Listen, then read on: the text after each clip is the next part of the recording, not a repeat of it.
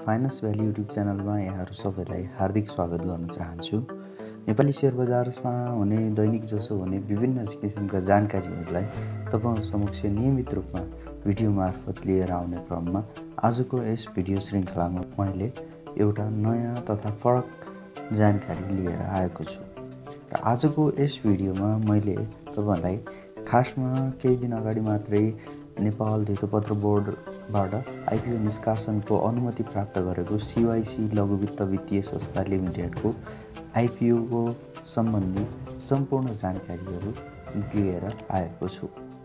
र यस भिडियोमा मैले जान कुरा गर्नेछु कि सिवाइसी लघुवित्तको बारेमा त्यसको फाइनेन्सियल करेन्ट फाइनेन्सियल पोजिसनको बारेमा त्यस्तै यसको क्यापिटल स्ट्रक्चरको बारेमा त्यस्तै यसको आइपिओ डिटेल्सको बारेमा कति किता आउँदैछ कति हामीले चाहिँ आवेदन दिँदा ठिक हुन्छ यसको ओपनिङ प्राइस रेन्ज चाहिँ के कति पुग्ला जस्ता कुराहरूबारे सम्पूर्ण जानकारी दिनेछु। र यी सबै जान्नको लागि तपाईँले हाम्रो यस भिडियोलाई अन्त्यसम्म नछुटाइकन हेर्नुहोला। आउनुहोस् अब ढिलो नगरी भिडियोको विषयवस्तुतर्फ लागौँ। हजुर अब सबैभन्दा पहिले म सिवाइसी लघुवित्तको कम्पनीको बारेमा केही जानकारी दिन गइरहेको छु। हजुर।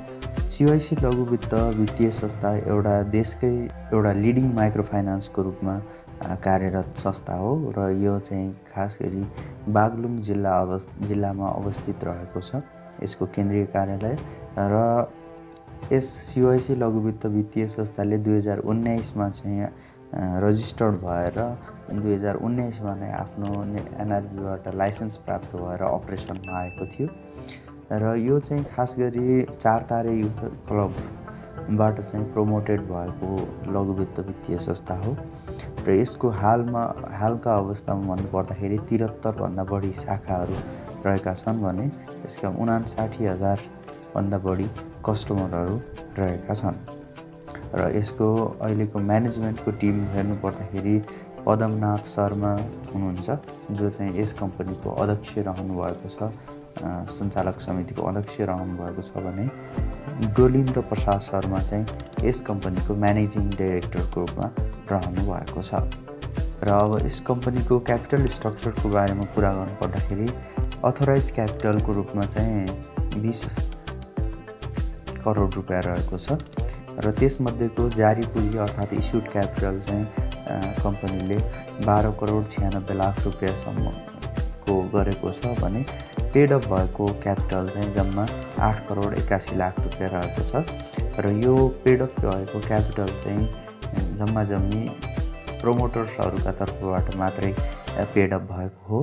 र अब यसले निष्कासन गर्न आइपि गर्न गइरहेको आइपिओबाट चाहिँ जम्मा बत्तिस जारी पुँजीको बत्तिस पोइन्ट पाँच प्रतिशत चाहिँ आइपिओ निष्कासन गर्दैछ। र त्यस निष्कासन गरिसके पश्चात चाहिँ यस कम्पनीको जारी तथा चुक्ता पुँजी बाह्र करोड छ्यानब्बे लाख बराबरको रहनेछ। र त्यस पश्चात चाहिँ यस कम्पनीको प्रोमोटर पब्लिक सेयर रेसियो चाहिँ करिब करिब सडसठी पोइन्ट पाँच प्रतिशत इज टु बत्तिस पोइन्ट पाँच प्रतिशत रहनेछ। अब लागौँ हामी यस सिवाइसी लघुवित्त वित्तीय संस्थाको फाइनेन्सियल पोजिसनतर्फ अर्थात् वित्तीय अवस्था अहिलेको समयमा के कस्तो रहेको छ भन्ने कुरातर्फ र यस टपिक्समा मैले केही फाइनेन्सियल पोजिसन झल्काउने इन्डिकेटर्सहरूको बारेमा चर्चा गर्नेछु। र त्यस्ता इन्डिकेटर्समा सबैभन्दा पहिले हामीले लिन सक्छौँ इपिएस अर्थात् अर्निङ पर सेयर र अर्निङ पर सेयर चाहिँ कम्पनीको फन्डामेन्टल अवस्थालाई बुझाउने एकदमै राम्रो इन्डिकेटरको रूपमा लिइन्छ। र दुई हजार अठहत्तर उनासी अर्थात् हाल चलिरहेको आर्थिक वर्षको सेकेन्ड क्वार्टरको रिपोर्ट अनुसार यस कम्पनीको अर्निङ पर सेयर रु एक सय एकचालिस रुपियाँभन्दा बढी रहेको छ जुन चाहिँ एकदमै राम्रो अवस्थाको अर्निङ पर सेयर मान्न सकिन्छ।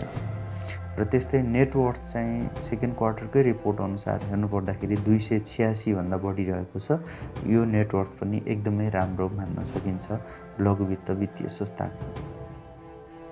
र त्यस्तै कम्पनीले यो अवधि अर्थात् सेकेन्ड क्वार्टरसम्म नेट प्रफिटको रूपमा पाँच करोड एकासी लाख पैँसठी हजार दुई सय बिस रुपियाँ चाहिँ आय आर्जन गरेको छ नेट प्रफिटको रूपमा। जुन चाहिँ अघिल्लो आर्थिक वर्षको यही अवधिमा चाहिँ एक करोड छ्यालिस लाख एक हजार आठ सय पच्चिस मात्रै रहेको थियो। भन्नुको अर्थ यसले हेभी ग्रोथ चाहिँ नेट प्रफिटमा गर्न सफल भएको छ यस कम्पनीले।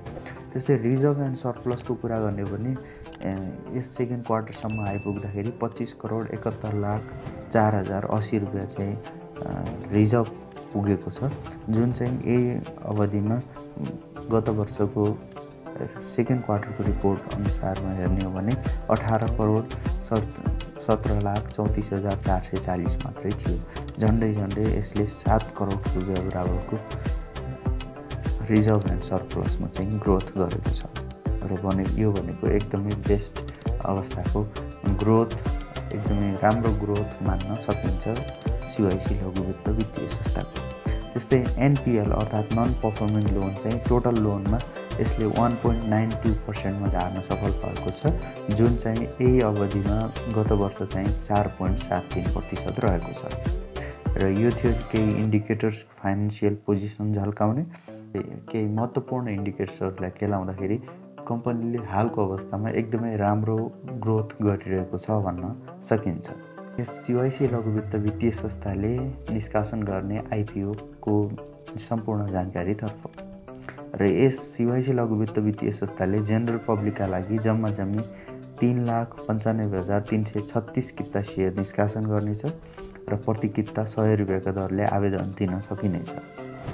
र यसका लागि यस जेनरल पब्लिकका लागि निष्कासन गर्ने सम्पूर्ण आइपिओमध्ये यसले चाहिँ दुईदेखि पाँच प्रतिशतसम्म आफ्नो कर्मचारीहरूका लागि र त्यस्तै पाँच प्रतिशत चाहिँ म्युचुअल फन्डका लागि छुट्याउनेछ र त्यसबाट बाँकी रहेको सम्पूर्ण सेयर चाहिँ जेनरल पब्लिकका लागि निष्कासन गरिनेछ बाँडफाँड गरिनेछ र यो निष्कासन तथा बिक्री प्रबन्धक अथवा गर्नका लागि इस्यु म्यानेजरका रूपमा सिवाइसी लघुवित्त वित्तीय संस्थाले ग्लोबल आइएम क्यापिटललाई यसै नै नियुक्त गरिसकेको छ र अब यस यस कम्पनीको आइपिओ रेटिङलाई चाहिँ एयर नेपाल रेटिङ एजेन्सीले चाहिँ डबल बी माइनस रेटिङ दिएको छ जसले चाहिँ वित्तीय दायित्वहरू वहन गर्नको लागि एकदमै मध्यम अवस्थामा रहेको कम्पनी अर्थात् एभरेज फाइनेन्सियल पोजिसन भएको कम्पनीका रूपमा लिन सकिन्छ।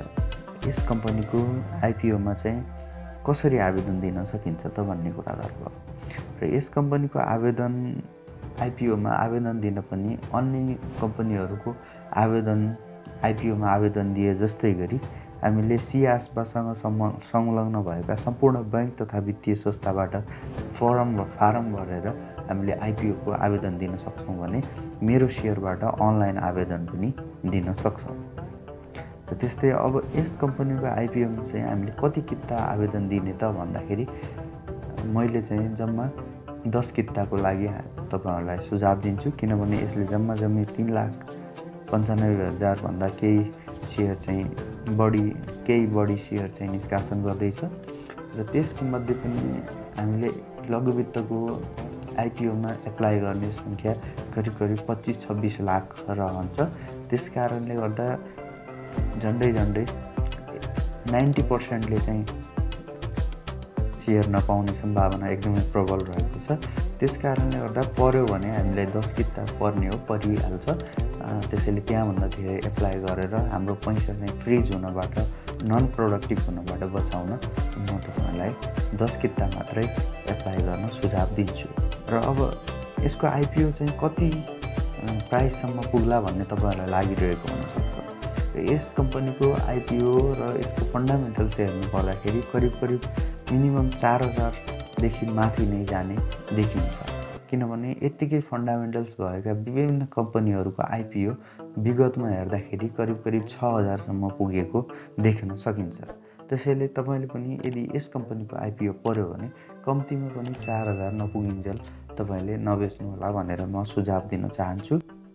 हजुर मैले आज सिवाइसी लघुवित्त वित्तीय संस्थाको बारेमा र यसको करेन्ट फाइनेन्सियल पोजिसनको बारेमा यसले निष्कासन गर्न गइरहेको आइपिओको बारेमा यसमा कसरी यस कम्पनीको आइपिओमा कसरी आवेदन दिन सकिन्छ कति किता आवेदन दिने र यसको मूल्य चाहिँ कतिसम्म पुग्ला भन्ने विषयमा सम्पूर्ण जानकारी दिएँ।